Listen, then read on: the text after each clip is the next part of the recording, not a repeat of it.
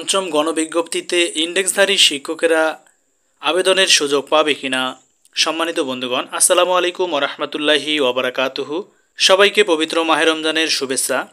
কেমন আছেন? আশা করি আল্লাহ রহমতে অনেক ভালো আছেন, সুস্থ আছেন। এই চ্যানেলের আরেকটি গুরুত্বপূর্ণ ভিডিওতে আপনাকে স্বাগতম। আজকের এই ভিডিওটি বেসরকারি শিক্ষক নিবন্ধন ও প্রত্যয়ন কর্তৃপক্ষ এনটিএসসি এর সকল প্রার্থীদের জন্য। আজকের এই ভিডিওর মাধ্যমে আমরা আপনাদের সামনে উপস্থাপন করব আসন্ন পঞ্চম গণবিজ্ঞপ্তিতে ইন্ডেক্সধারী শিক্ষকরা আবেদন করতে পারবেন কি না। আশা করি ভিডিওটি শুরু থেকে শেষ পর্যন্ত দেখলেই বিস্তারিত বুঝতে পারবেন। তো বন্ধুগণ, কথা না বাড়িয়ে চলুন শুরু করা যাক। প্রিয় বন্ধুগণ, আপনারা দেখতে পাচ্ছেন এখানে বলা হচ্ছে পঞ্চম গণবিজ্ঞপ্তিতে কি ইন্ডেক্সধারীরা আবেদনের সুযোগ পাবেন। এটি গতকাল শনিবার পয়লা এপ্রিল দু হাজার তেইশ প্রকাশিত হয়েছে। এখানে বলা হচ্ছে যে, বেসরকারি স্কুল, কলেজ, মাদ্রাসা ও কারিগরি প্রতিষ্ঠানে কর্মরত শিক্ষকদের বদলির কোনো ব্যবস্থা নেই। ইন্ডেক্সধারী শিক্ষকরা গণবিজ্ঞপ্তির মাধ্যমে এক প্রতিষ্ঠান থেকে আর এক প্রতিষ্ঠানে যাওয়ার সুযোগ পেতেন। তবে সম্প্রতি প্রকাশিত চতুর্থ গণবিজ্ঞপ্তিতে তাদের আবেদনের সুযোগ কেড়ে নেওয়া হয়। এই অবস্থায় পঞ্চম গণবিজ্ঞপ্তিতে ইন্ডেক্সধারীদের আবেদনের সুযোগ দেওয়া হবে কিনা সেই প্রশ্ন মুখে মুখে। বেসরকারি শিক্ষক নিবন্ধন ও প্রত্যয়ন কর্তৃপক্ষ এনটিআরসিএ বলছে, ইন্ডেক্সধারী শিক্ষকদের আবেদনের সুযোগ সাময়িকভাবে স্থগিত করা হয়েছে। শিক্ষা মন্ত্রণালয় চাইলে তাদের এই নির্দেশনা স্থগিত কিংবা বাতিল করতে পারে। এখানে এনটিআরসি এর কিছু করার নাই। সব কিছু শিক্ষা মন্ত্রণালয়ের হাতে। নাম প্রকাশ না করার শর্তে এনটিআরসি এর এক কর্মকর্তা বলেন, ইন্ডেক্সধারীদের আবেদনের সুযোগ দিলে নতুনরা চাকরি পাচ্ছিল না। এছাড়া প্রত্যন্ত অঞ্চলে কোনো শিক্ষক থাকতে চাইতো না। এছাড়া আরও কয়েকটি কারণে তাদের আবেদনের সুযোগ বন্ধ রাখা হয়েছে। ভবিষ্যতে তাদের সুযোগ দেওয়া হবে কি না, সেটি মন্ত্রণালয় ভালো বলতে পারবে।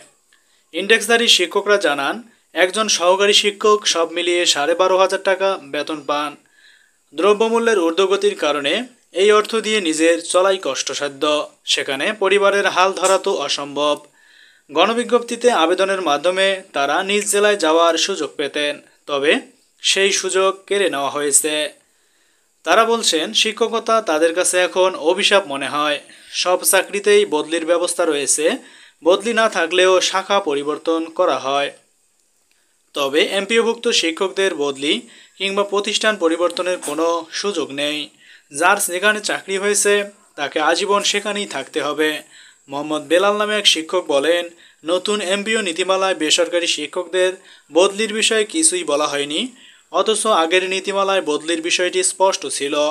এখন গণবিজ্ঞপ্তিতে আবেদনও করা যায় না। এই বেতনে চাকরি করাটাই এখন কষ্টকর।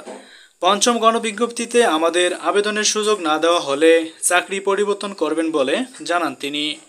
সার্বিক বিষয়ে জানতে চাইলে শিক্ষা মন্ত্রণালয়ের মাধ্যমিক ও উচ্চ শিক্ষা বিভাগের অতিরিক্ত সচিব মাধ্যমিক দুই আব্দুল নূর মোহাম্মদ আল ফিরোজ বলেন, শিক্ষকদের বদলি কিংবা আবেদনের সুযোগের বিষয়টি মন্ত্রণালয়ের ঊর্ধ্ব কর্তৃপক্ষ বলতে পারবে। এ বিষয়ে বক্তব্য দেওয়ার তিনি কেউ নন।